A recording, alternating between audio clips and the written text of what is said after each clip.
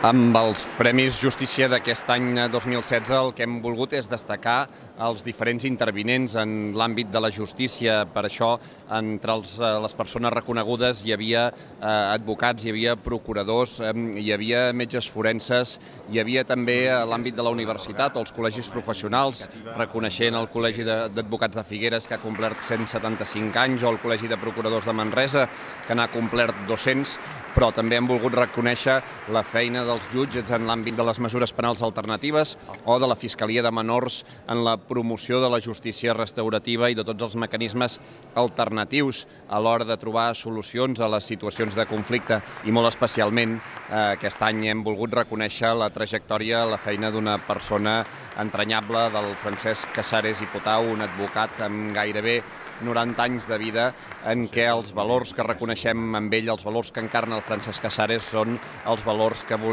que encarni el nostre sistema de justícia. Obeir el temps i a les persones, democràticament i sempre fent del dret, de l'antic dret i del no tan antic, de les compilacions, de les declaracions de drets humans, de les constitucions dels estats moderns fins i tot, una eina, no una llosa, no un mur infranquejable